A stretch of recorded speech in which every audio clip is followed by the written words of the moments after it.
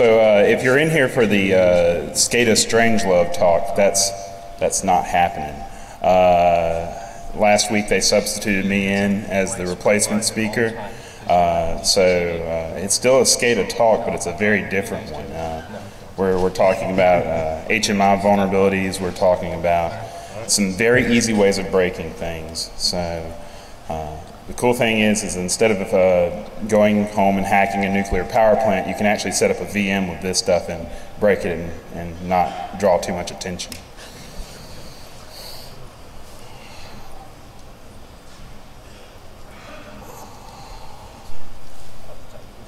Yeah, I got it.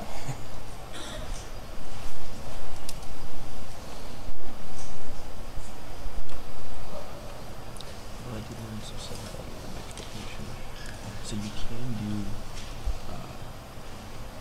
So if the panel members here would uh, introduce themselves. we'll start at that end because you're paying attention. My name's Amanda. I graduated from Mississippi State um, undergrad and went to University of Maryland for grad. And Wes is a good guy. Um, a security consultant now. First time at DEF CON, having a good time. All right. Kendall, go for it. I'm Kendall Blaylock. I uh, I literally share an office with Wes. Uh, so five days a week I have to watch him, and it's not pleasant. Yeah.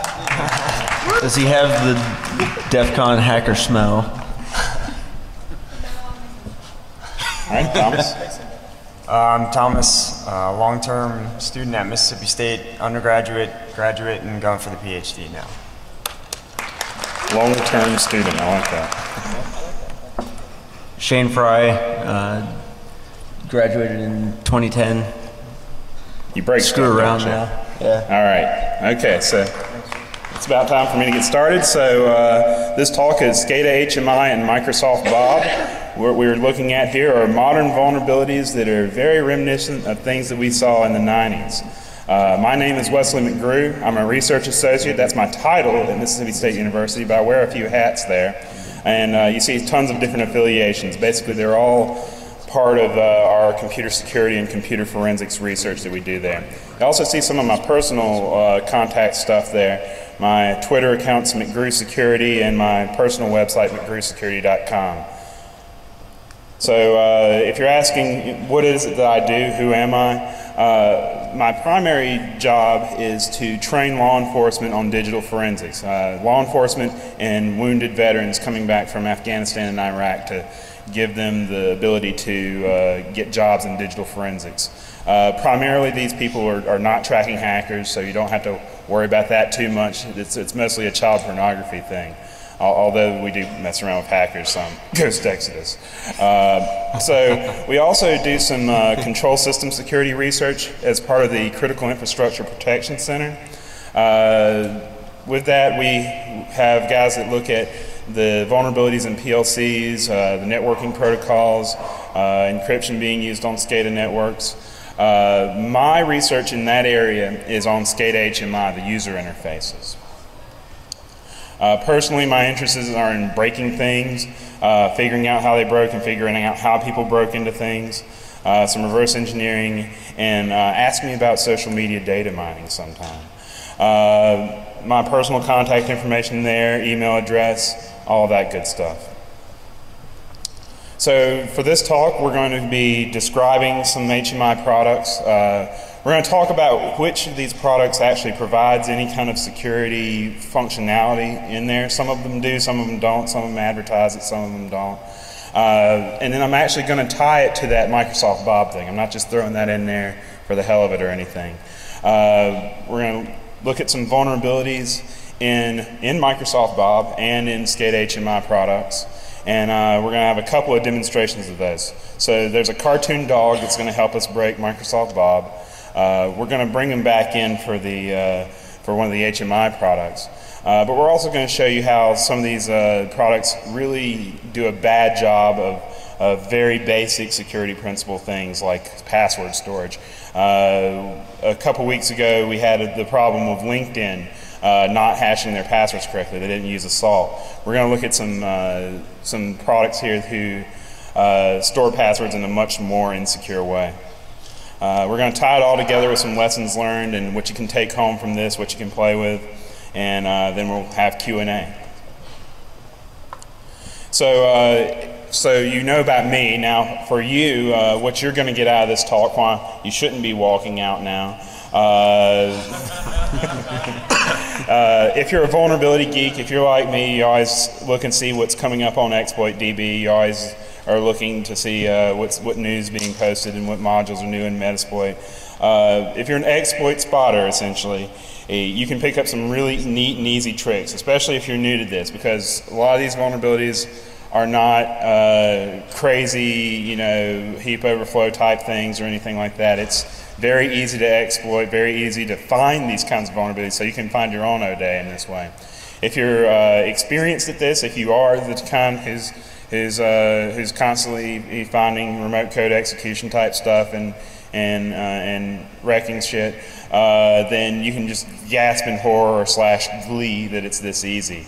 Uh, if you're a pen tester and you're going after or, uh, any kind of control system network, any kind of uh, critical infrastructure, you may be able to take away some stuff from this on uh, how to escalate and leverage access to SCADA HMI. So, uh, especially with the password disclosure vulnerabilities, even if your target isn't the HMI, there's a good chance they're reusing those passwords elsewhere. Uh, if you're a SCADA or a control system stakeholder, chances are you're not at DEF CON. But if you are, uh, then, then you'll see this and you're like, well, the box said that it provides authentication and security.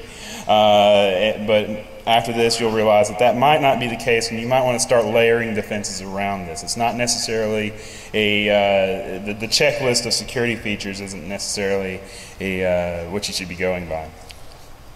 If you're an HMI developer, then you're going to be composing a nasty email to me, especially since these uh, since uh, this talk was a substitute talk. Uh, the O-Day is particularly fresh here.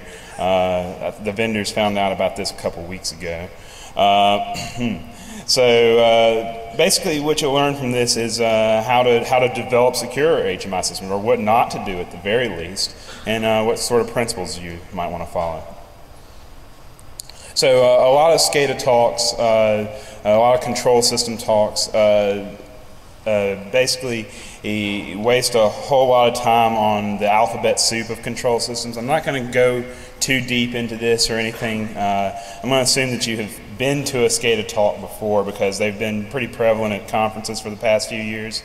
But the idea here is the part that we're most interested in here is the HMI, the human machine interface. So uh, we have systems that have you know PLCs out in the field and everything that are that are doing stuff and communicating back and things like that. What we're concerned with is that control panel interface.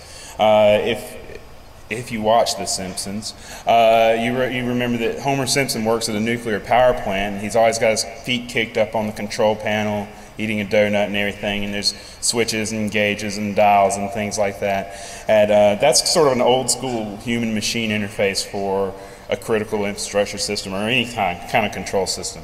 The photo that you see there is from Three Mile Island uh, back in the day and everything. You have actual physical switches and dials and gauges. And you may have some of this now and everything, but it's probably being fed uh, data a little bit differently than this is, rather a little more indirectly. Uh, now, you're much more likely to see uh, LCD panels, touch screens, um, workstations set up uh, with graphical interfaces for or the uh, for the control systems that you're manipulating. The, the one at the bottom there is actually from a demo system that's a, a, a, cookie factory. I like that one. That's definitely critical infrastructure. Um, the, uh, the, the interfaces for these, they, you, if you've been around for a while, that you probably realize these look very much like uh, uh, Visual Basic style interfaces. These look very much like programmer art, uh, as you would call it, uh, where uh, the, the, the skills of a graphical artist have not been consulted. Uh, but the idea with this sort of interface is, and this sort of software really is, is that uh, there's no cookie factory HMI product that you can buy, pop into your system, and it automatically start making cookies for you. Uh, there's no uh, drop-in software for controlling a nuclear power plant. These things have to be kind of custom written per client, per stakeholder. So there are companies out there that are basically solutions providers that buy the HMI software, code up all of the interface, code up all of the, the background code that runs behind that, and uh, deploys it out to the, uh, to the end users. Uh, an interesting aspect of that is when you find a vulnerability in HMI software, the vendors don't necessarily know who their end users are. They know who their solutions providers that are buying the products are, but they don't know who the end users are. Because what you're doing is you're buying essentially an IDE that lets you develop these sorts of interfaces. Another cool thing about that is that if you want to play around with this sort of software, they are very generous. Most vendors are very generous about giving out demonstration versions that you can use. And those demonstration versions typically have very, very loose restrictions on them because they want you to learn how to use their software to develop solutions. They want you to get tied into that and then recommend that to clients. Uh, HMI is part of the attack surface for a control system. Uh, these sorts of systems, uh, there's increased connectivity in control systems for billing and process improvement type purposes. Uh, there are HMI products for cell phones and tablets and things like that now. There's a famously, I've seen uh, an ad from a control systems magazine that shows an engineer sitting on a mountaintop of their laptop remotely accessing, you know, whatever water treatment plant there is. Uh, it was supposed to be a, an advertisement that you, you know you can be on vacation and still manage all the critical stuff that you're responsible for, but in reality, it's just terrifying. Um, I put insider threats here because most of the stuff that I'm going to show you today, this is not, it's not remotely exploitable necessarily. Uh, some of it, in some situations, could be, but what you're mainly looking at here is the insider threat. So uh, if you look at the uh, Stuxnet attacks and anything, uh, those that that that uh, Stuxnet moved around via USB, and so uh, you could have insiders that are moving those USBs around uh, intentionally or unintentionally, uh, and basically hopping air gaps. These air gaps. Oftentimes, the air gap isn't really there, and even when it is there, it's not something that's insurmountable.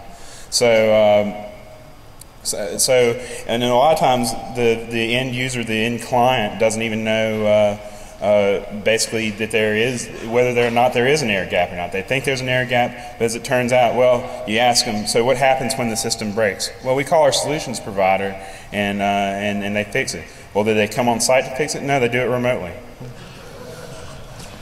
So, um, so if we look at HMI security features, some of these products don't advertise any sort of security feature. It's a, it's a control panel software, it runs locally, you use it locally, and it talks out to, to whatever devices it's going to talk out to, and that's it.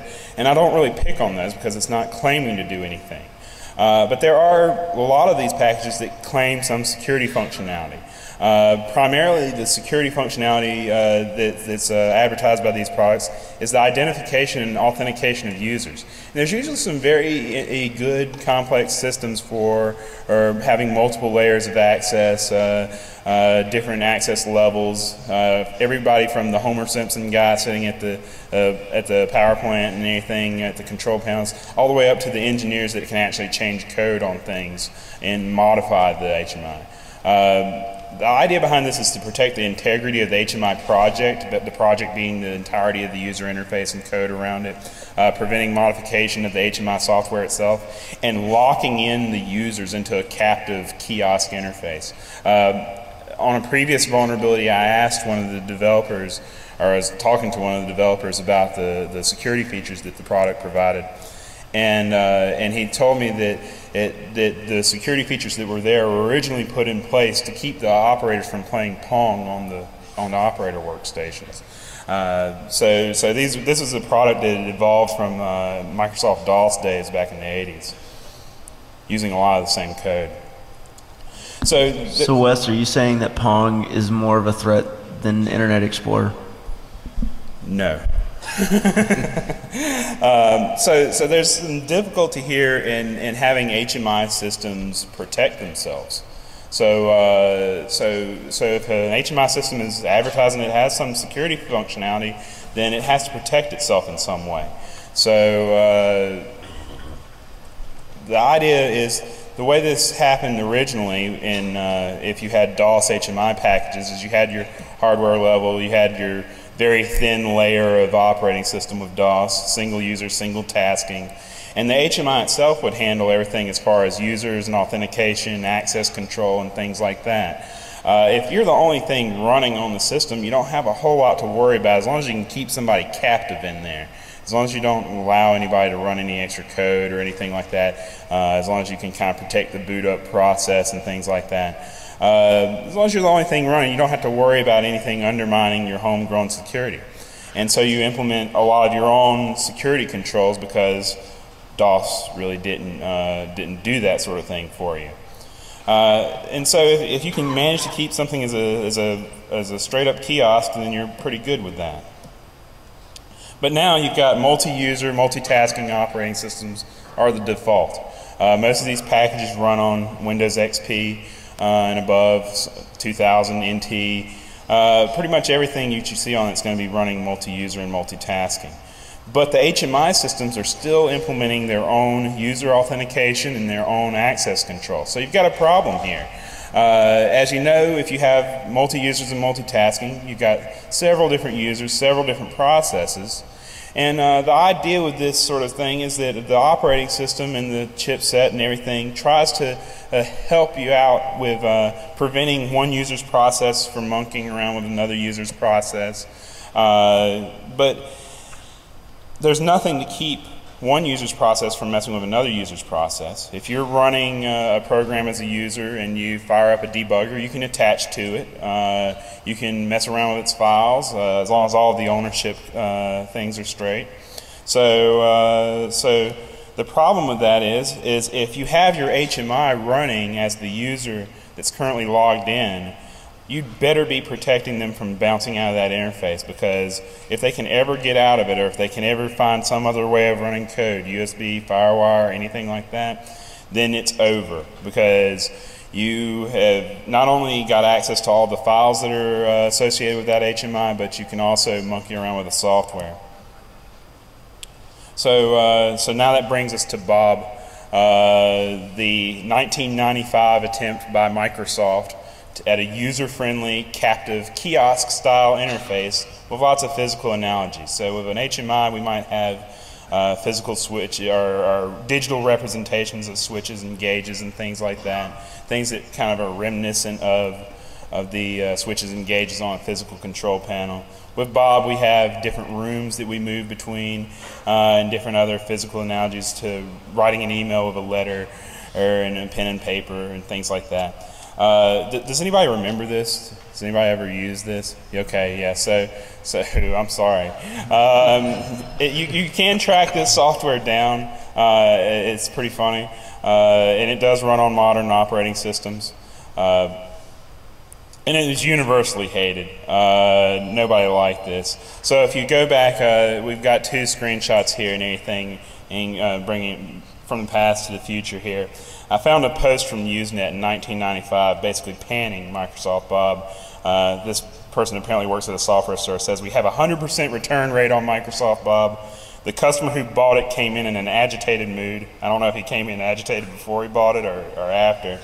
The manuals of Bob is nothing more than a cheap advertising ploy with a question mark. I don't know what, what you expected from that. Uh, Bob needs 8 megs of RAM just to run. Wow. Bob needs 32 megs of hard drive to install. Oh man. And then the latest software takes up another 9 megs. This is a big deal. Uh, now, uh, uh, to, to relate internet rage to the modern day, we have a post from 4chan here uh, regarding Windows 8's Metro interface. Saying that it's like running the Media Center and an iPhone at the same time, except it's on a computer, not streamed to the TV, and I can't call Siri uh, something that I blanked out for amusement.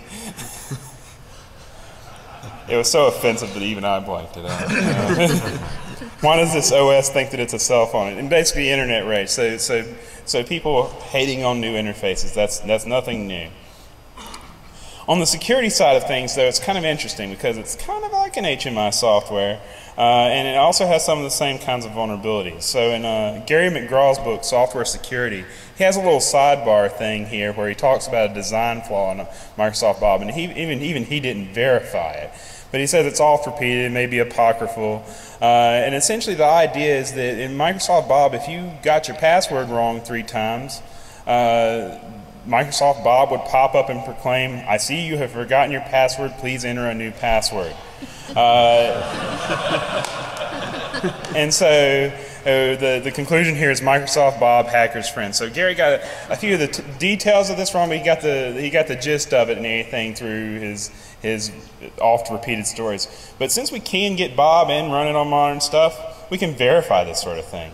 So there's, there's my good friend the dog there. Or, uh, it's Microsoft, there is no Microsoft Bob character in here that I know of, but there is uh, the dog wearing the Bob logo on his collar there. So whenever you go to log into Microsoft Bob, it asks you for your password. Type your password here, and it'll tell you it's not right. And so you try it again. And a couple more times later, it's actually more polite than Gary McGraw uh, stated. Uh, the dog says, Pardon me, have you forgotten your password? Uh, and you can tell it no, but uh, we're, we're obviously going to tell it yes. What password would you like? type it here. There's even a little note saying the little symbols that show up when you type is my way of disguising your password. This way, someone looking over your shoulder can't tell what it is. Never mind that when you leave the computer, they're just going to log in and change it. And here, myster- and I just noticed this looking at this slide. Uh, instead of OK, it's now A OK on the, uh, on the on the button there. Very friendly. So so this this verifies as a a 17 year old vulnerability. Uh, and, and, also, we're looking at insecure storage of credentials. This is where we're getting into the whole password hashing thing and, and hashing with salts and things like that. Uh, the software we're talking about today does it so wrong that, that, it would be an improvement if they just hashed it in the first place. Um, so, so this is actually just looking at in uh, Microsoft Bob's files here, the utopia.mdb. Uh, it's a it's a access database, I believe that uh, that you can just open up straight up in a viewer. Now the the Bob one uses an old version of, of the Access database, so some MDB viewers like it, some don't. I managed to find one that does, and so you can see down here that, that there's the the uh, the Wes, Wesley McGrew user there. Um, that is my real birthday. If you want to get me something, uh, with my with a gender field, uh, unique identifier, and my password, which is oh dear. Um, there's also some other users built into the thing that the, that the system doesn't really tell you about. There's one and, uh, that doesn't show up on the user list from within Bob, and it's called the creator. Uh, and the password is secret. Very mysterious stuff there in Microsoft Bob. So uh, Microsoft has done a lot of changes since then. I don't think that they'll mind me, me talking bad about Bob. Um, but uh, it's because it's been 17 years. Microsoft's made a lot of progress, and of course we forgive them. Do we forgive them? No. Okay. but they, but it, software is a lot harder to break nowadays. But main, but it's mainstream IT software that's hard to break because we have people that are working on breaking it all the time. You break you break Internet Explorer, you break break Microsoft Windows, and boom, you've got you know millions and millions of people that are vulnerable to that, and that's sexy and, and that's fun to talk about. Uh, but what about lost tribes of software? What about tribes of software, basically different genres that, uh, that don't see a lot of attention from vulnerability analysts, uh, such as SCADA HMI software? Now that's getting more and more interest, of course, but, uh, but for a long, long time, this software was developed without a whole lot of scrutiny as to the security features. It has security features, then, then we give the stamp of approval and send it out. Um, but what you're going to see here is that this software has vulnerabilities in it that are very reminiscent of what you would see in mainstream IT software from the mid 90s. So, for finding design flaws in HMI software today, you could go up to your hotel room and do this and find some zero day, I promise you. Uh, and you can put away your fuzzer, you can put away your copy of Shellcoder's Handbook, uh, you can forget everything you knew about memory corruption and still do this. Uh, all you have to do is read the documentation for the security features that particular HMI package provides and just verify that it actually does it. Uh, and a lot of times it doesn't, or it does it in such an insecure way that, uh, that it can easily be broken. So the first steps for this, this is an older vulnerability that I reported a, a couple of years ago, and uh, this was basically my first go at uh, SCADA HMI software. Uh, you have GE Fanuc's uh, iFix software. Uh, they weren't very happy about this. Uh, but essentially, he, their passwords were stored exclusive OR against the static key. So, so who here, here knows what that means, essentially? Okay, about half of you.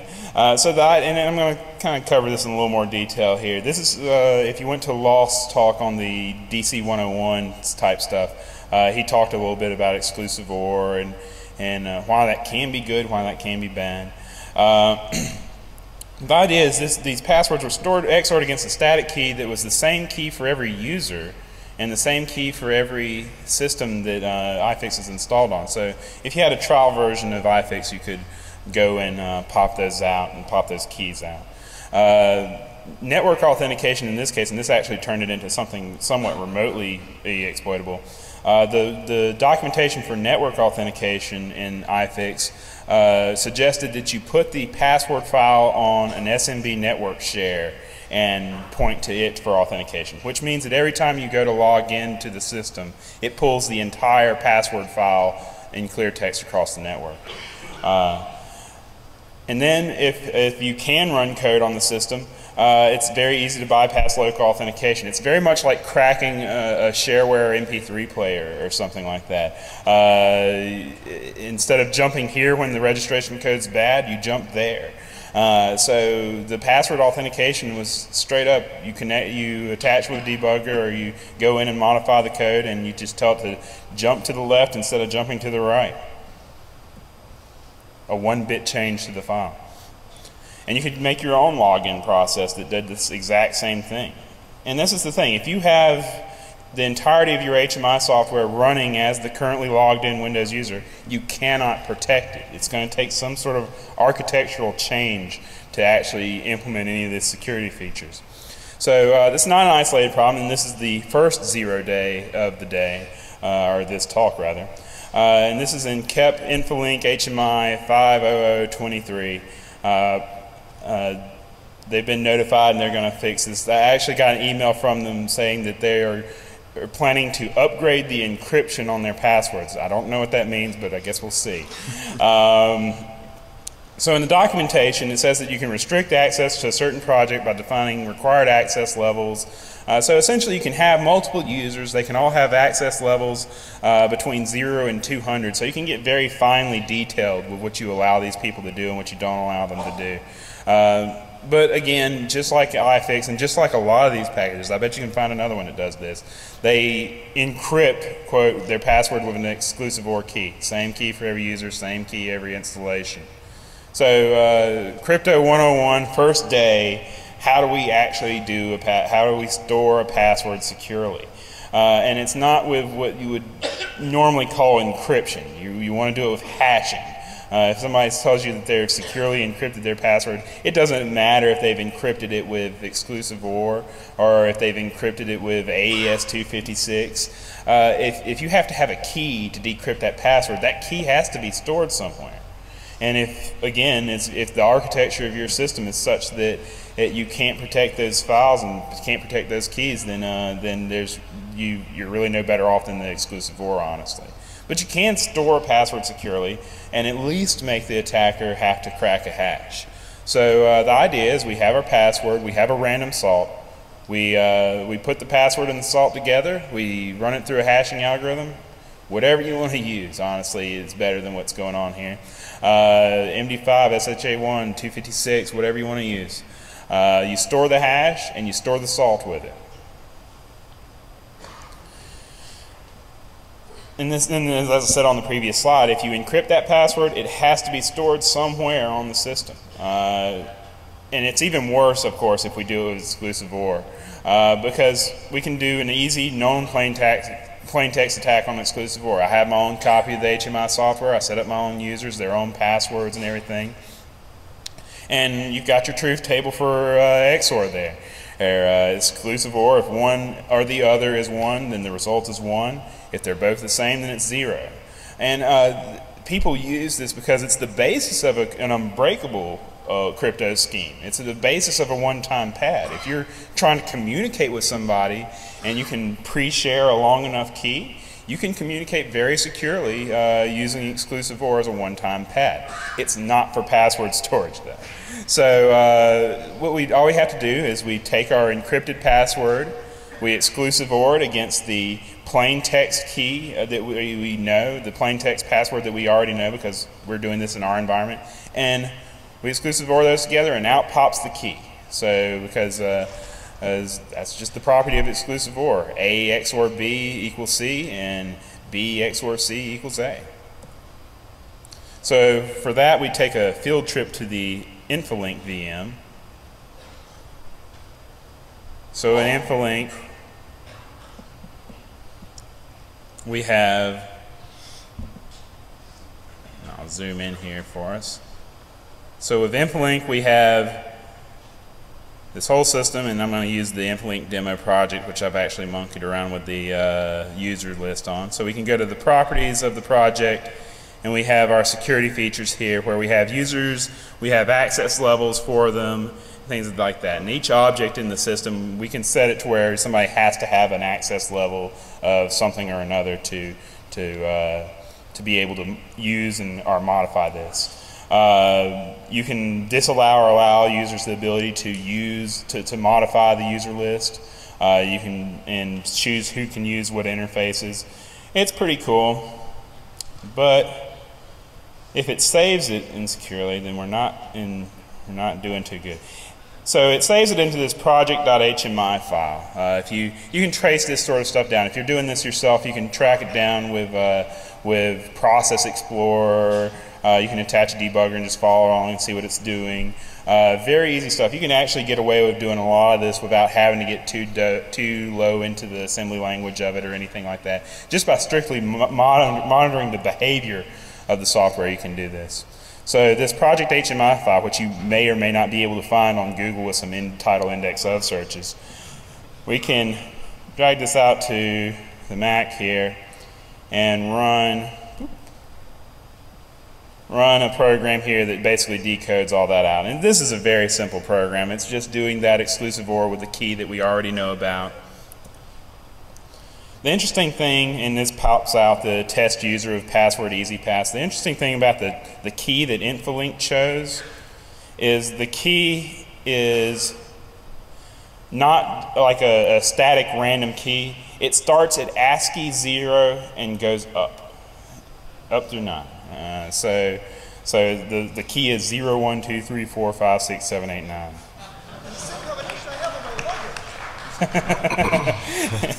yeah, and the funny thing, yeah, exactly. If that was your password, if that was your password, then the, the encrypted key would be zeroed out. It'd be great. Need to try that. All right, so uh, we've got another field trip to the VM in a little while.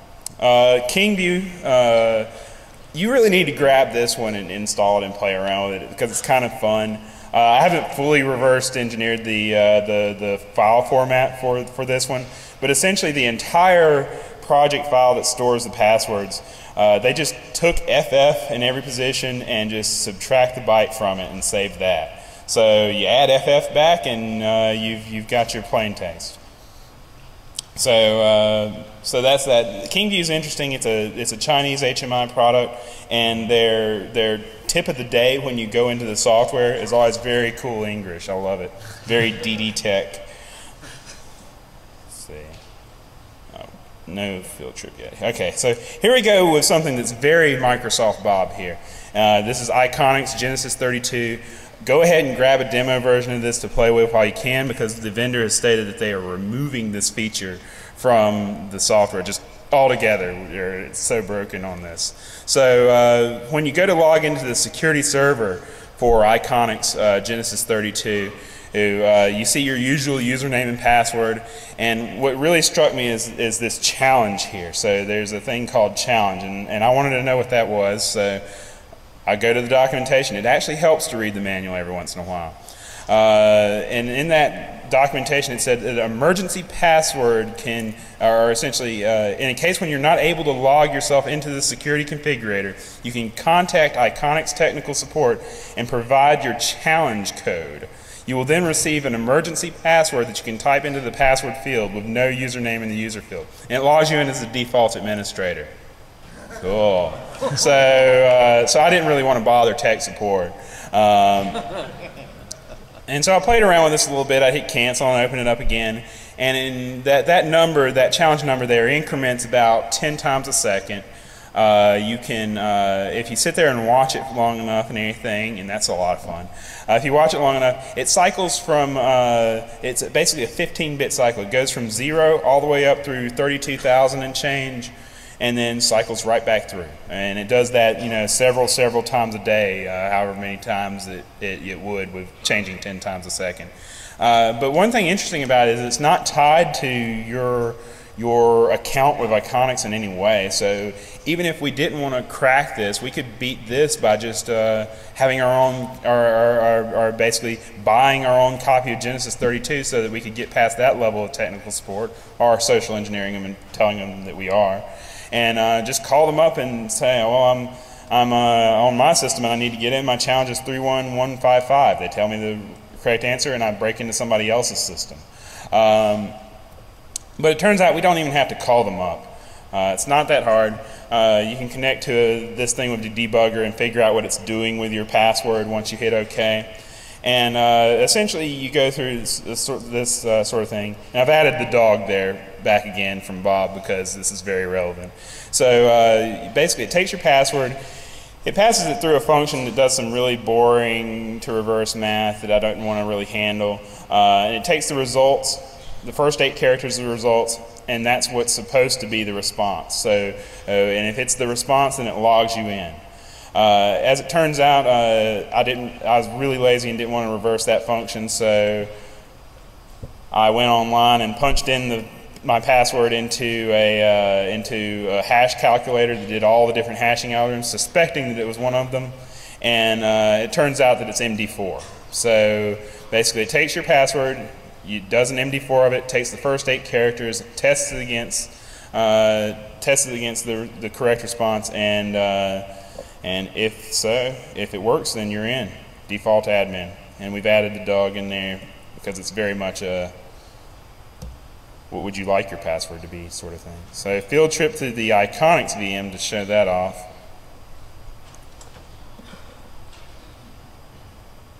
we have our security configurator here, and so we're at 21,000 and change on this, and we can, oops, couldn't log in. All right, and if we run this again, you'll see that that number will have changed slightly. Very predictable. All right, so we'll do it one more time here, and we'll do this one. 21101. So we have a script here, iconics.tech.support.py. 21101. Our correct response, oh, nice. Ba, ba 1928. I love it. Boom, we're in.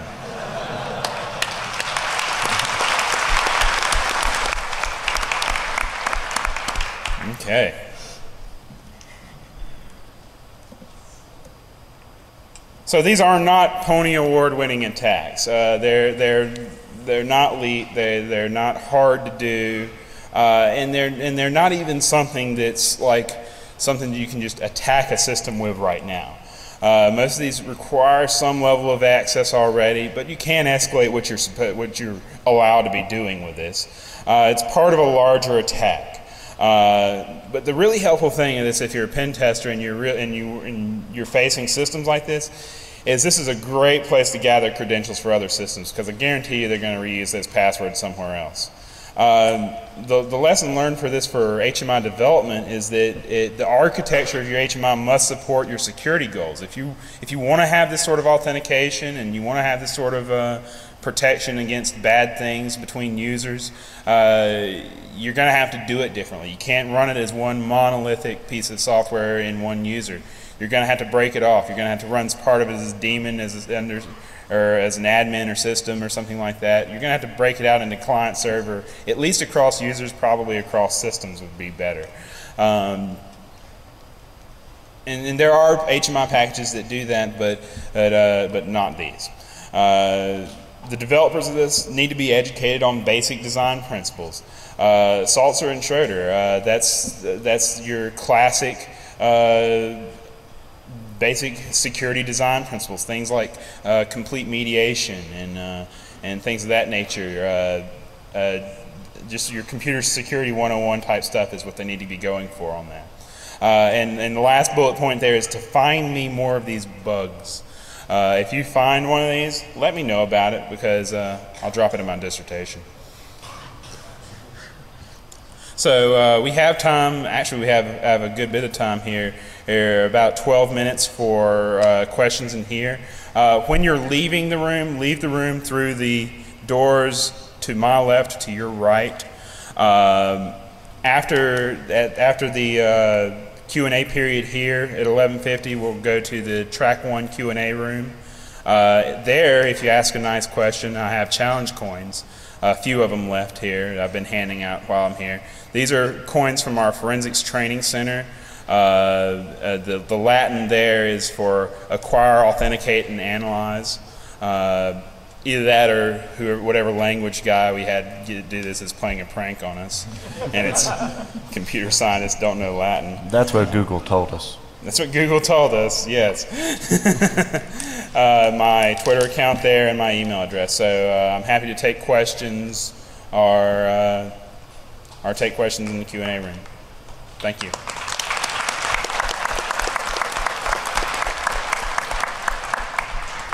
Yeah. Hey, thanks very much. Um, curious if you have comments on like the Digital Bond Conference, and I guess this is probably the wrong place to say this, but some of the responsible disclosure of things that are used for critical infrastructure. It's it's a little bit frightening, but I you know I think it's necessary because obviously mm-hmm. the vendors are doing a piss poor job. Right.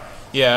Uh, one interesting thing about that is uh, ICS CERT announced the other day that they're drastically ramping uh, up the time frame for or fixing vulnerabilities. Uh, then they said it was something like 40 something days that they would uh, they would hold up hold on to something before they disclose it whether there's a patch or not. And it's good because uh, the thing about this stuff is is the vendor can uh, put out a patch for it, but how many of the end users, how many of the stakeholders are actually going to get that patch? Uh, because it's got to go through the, the solutions providers and everything.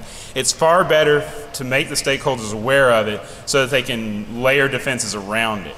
Uh, uh, because as uh, the patching may not be as feasible as it would be in mainstream IT software. Anything else? Come on, somebody's got to have something for me. All right. Do you know uh, how much market share the the software that you found vulnerabilities has? Uh, the Iconics, the, the one that I uh, the one that I just bypassed the security of, uh, they actually have some uh, a list of clients on their website as case studies, uh, and includes the Russian Transneft pipeline and the Pentagon's uh, security systems. As far as like percentage market share for these, honestly, not that much. Uh, uh, they're like packages like Wonderware and iFix probably have a lot higher uh, market share than these particular packages.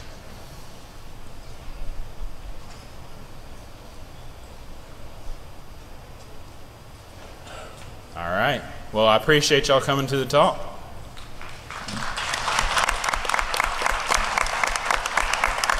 Give a round to my Mississippi State guys who volunteered not to watch the presentation. Right.